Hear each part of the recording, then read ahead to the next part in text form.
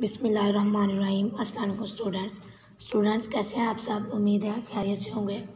Students, आज से हमारी सेकंड टर्म आगाज़ हो गया है उसका।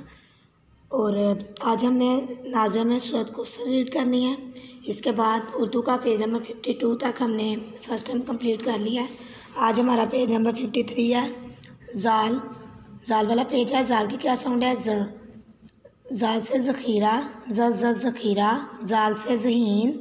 जहीन जाल से ज़रात ज़रात ये जाल वाली टू लाइन्स आप लोगों ने राइट करनी है। ये आप लोगों की रीडिंग है साथ।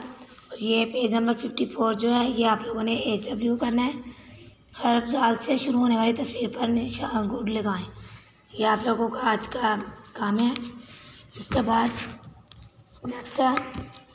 आज हमारा page number thirty four W वाला पेज डब्ल्यू क्या साउंड है? व W for window, w w window, W for wall, w w wall, W for watch, w w watch, W for woman, w w woman, W for well, w w well, W for watermelon, w w watermelon.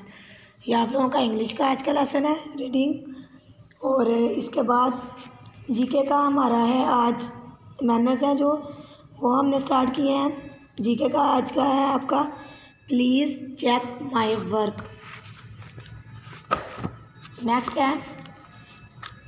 One two का जो आप लोगों का काम है one to forty तक का हमारी फ़र्स्ट टर्म में काउंटिंग थी। आज है फोर्टी से अबव है।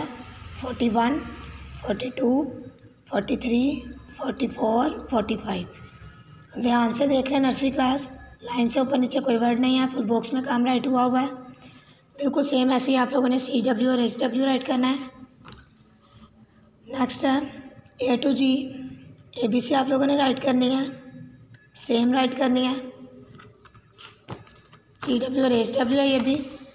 इसके बाद नेक्स्ट है, अलिफ से बढ़िया तक आप लोगों ने अलिफ भी राइट करनी है, रुफियत जी। ये आप लोगों ने ये भी सी डब्ल्यू और एच डब्ल्यू है ये आप लोगों का आज का काम है।